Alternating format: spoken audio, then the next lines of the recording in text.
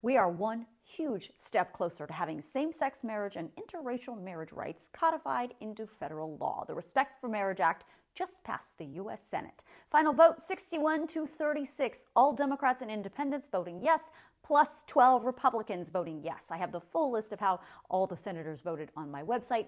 Three of them were absent for today's vote. This bill now goes to the House where it is expected to pass very easily very soon.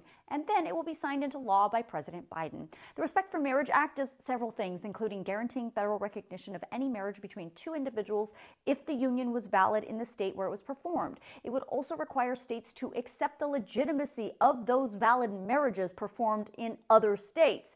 But it does not require any state to issue a marriage license contrary to its own law. If approved, individuals or groups would not be legally required to provide services for a wedding ceremony or celebration if it's against their religious beliefs.